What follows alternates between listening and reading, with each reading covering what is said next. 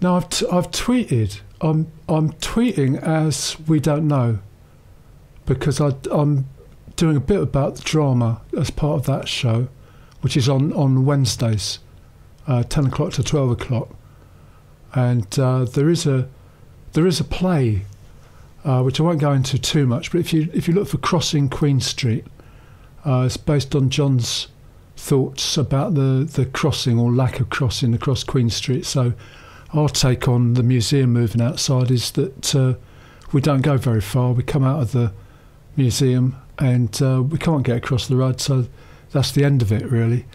Uh, but that's only so far. That story will be continued later on. Uh, but anyway, look for W E N O T N O on Twitter, and you'll find I've tweeted about uh, this uh, part of antibodies which is called uh, Yielding Stone or Middle England. And it's about decolonising Exeter, I guess, as in central Exeter, because the map is definitely the, the, the classic city, more or less sort of pre war shape, I guess.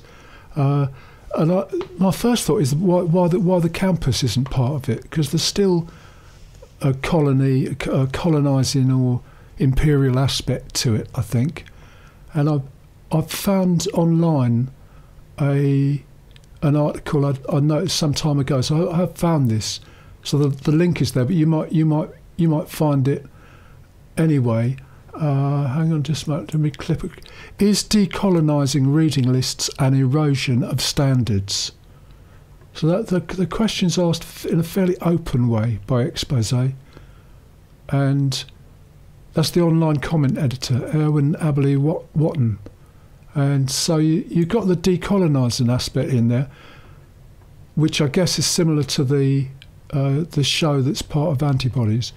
But there's there's also uh, the sort of official um, the proper books are about imperial history, which has always been quite strong in Exeter as a, as a university, and comments in blogs and tweets and sort of thing might be said in the coffee bars in the town. That's not quite as uh, legitimate knowledge. Uh, 40 professors have expressed opposition to guidance released by the university on decolonising course reading lists.